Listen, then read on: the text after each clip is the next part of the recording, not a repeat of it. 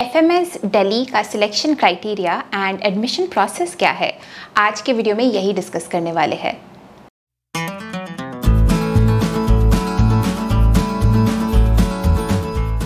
Hi everyone welcome to insider Gyaan मेरा नाम सौमी है. I am N I T Delhi and I S B Hyderabad grad and on this channel I share a lot of my career experiences from the last ten years मैं बहुत सारे M B A related videos बनाती हूँ educational videos भी बनाती हूँ regarding consulting Microsoft Excel etcetera so if any of those things interest you please consider subscribing to the channel कुछ time पहले से जब से मैं डिफरेंट कॉलेजेस का सिलेक्शन क्राइटेरिया बनाने लगी हूँ like I have covered I M A B C so far and I mean to link them over here तब से सबसे ज़्यादा रिक्वेस्ट जिस कॉलेज का आया था, वो था F M S Delhi Now I understand FMS Delhi is a really sought after college because obviously it's a tier 1 college, firstly. Secondly ROI के perspective से भी I think F M S is one of the best colleges क्योंकि fees बहुत कम है and आपकी average salary जो है वो लगभग टॉप आई एम्स के जितना ही है।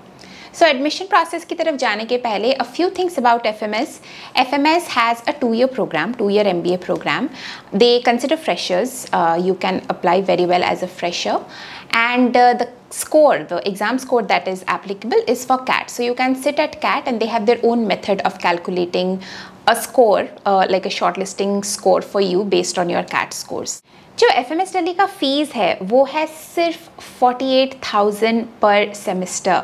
which comes out to be around two point five to three lakhs definitely less than three lakhs for the entire two year M B A program जबकि I I Ms cost about 18 to 20 lakhs.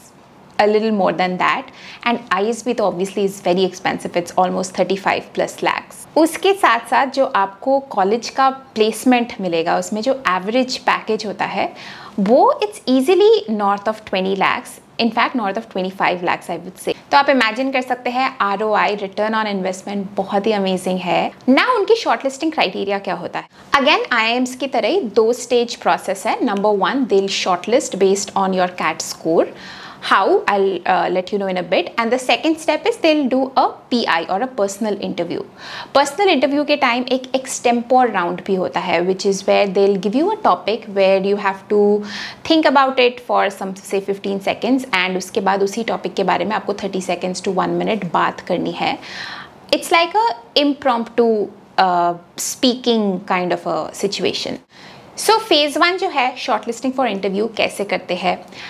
आपका जो CAT score है, उसका exact percentile वो नहीं लेते हैं। Shortlisting के टाइम सिर्फ़ और सिर्फ़ कैट स्कोर यूज़ होता है but they give different weightages to your three sections that you have which is verbal ability D I and quant so first first time shortlisting के टाइम आपका ना number of years of work ex काम आएगा, ना profile कैसा है काम आएगा, ना आपके टेंथ में कितने मार्क्स थे ट्वेल्थ में आपके ग्रेजुएशन में कितने मार्क्स थे, कुछ भी नहीं only your CAT scores it gives about 40 percent weightage to the verbal ability section and then 30 percent and 30 percent each to the quant section and the D I section उसके साथ साथ diversity of women candidates के लिए पाँच additional points मिलते हैं। You you no know, बहुत सारे लोग कंप्लेन करते हैं कि एम इंजीनियर्स के लिए ज़्यादा आसान है टू ब्रेक इन एंड इस चीज़ को उन्होंने थोड़ा सा न्यूट्रलाइज करने की कोशिश करी है by giving a slightly higher weightage to the verbal ability and reading comprehension section which is forty percent versus the quant and the D I section which are more mathematical and more tilted towards engineers की जो पढ़ाई होती है उससे। सो ये हो गया phase one of shortlist now when they move to the phase two of final selection which is shortlist के बाद जब आपका पर्सनल इंटरव्यू और एक्सटेम्पोर वगैरह सब हो गया how do they select the final set of candidates this at this time CAT को 50 परसेंट वेटेज दिया जाता है. उसके साथ साथ आपके टेंथ और ट्वेल्थ मार्क्स को भी 10 परसेंट ईच वेटेज दिया जाता है. There is no marks as far as I know for college grades as such but F M S के एप्लीकेशन में आपको एस ओ पी या जो स्टेटमेंट ऑफ़ पर्पस है कि आपको एम बी ए क्यों करना है, वो भी सबमिट करना होता है। उसके लिए अलग से 10 परसेंट वेटेज है। एक्सटेम्पोर जो आपको ऑन ग्राउंड उसी टाइम पे जो टॉपिक दिया जाएगा बोलने के लिए, उस पर फाइव परसेंट वेटेज है and then P I holds a fifteen percent weightage now मुझे जनरली लगा कि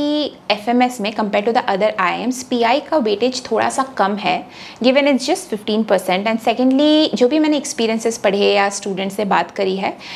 the interviews don't last for more than ten to twelve minutes जबकि आई एम के interviews can go on for thirty thirty five minutes you are really getting to know the candidate तो बहुत सारा focus आपका जो written application है, उसी पे आ जाता है।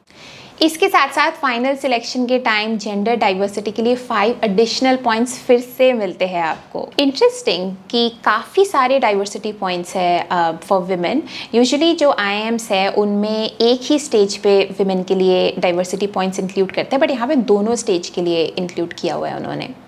So anyway this whole selection process what does this mean for you Number one, as is the case for IIMs as well, for the other two-year programs in India, profile की इतनी value नहीं है। FMS में तो और कम है profile की इम्पोर्टेंस मेनली आपका कैट स्कोर के बेसिस पे सिलेक्शन हो रहा है।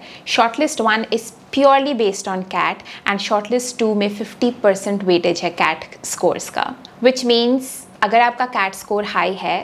डिस्पाइट ऑफ़ द फैक्ट कि आपके टेंथ ट्वेल्थ एंड अंडर में मार्क्स थोड़े कम हो, ज़्यादा फ़र्क नहीं पड़ेगा, आपका शायद सिलेक्शन हो सकता है। Second very important thing to note is it's a very fresher driven college क्योंकि वर्क एक्स के लिए किसी भी स्टेज पर कोई एडिशनल नंबर ऑफ़ पॉइंट्स नहीं है। So practically they just calling for freshers thirdly if you are a women then you have a lot of advantage in F M S because you get some additional diversity points and fourthly इनके selection process से ये काफ़ी clear है कि ये लोग ऐसे लोग चाहते हैं जिनकी mastery on English communication is good because verbal ability पे इनके 40 परसेंट वेटेज है which is more than quant and D I each secondly they are doing extempore which a lot of M B A colleges won't do like I Ms they do like an essay written essay and writing में क्या होता है ना कि आपको आपको like like आपका thought process थोड़ा स्लो होता है and it's slightly easier than extempore जब आपको स्पॉट में डाल दिया जाए एंड आपको कुछ बोलना है on a topic that you don't know anything about and sometimes these topics are quite random as well so they are looking for people who can present well who can uh, you know communicate well and uh, generally have a good command over the English language. I think that was it for F M S hope you guys found it helpful अगर helpful लगी हो तो please video को like कर देना एंड अगर अगर और कोई क्वेश्चन हो तो कॉमेंट सेक्शन में डाल दो एंड या I uh, please subscribe to the channel if you haven't already. And I'm going to see you in the next one. Till then, bye.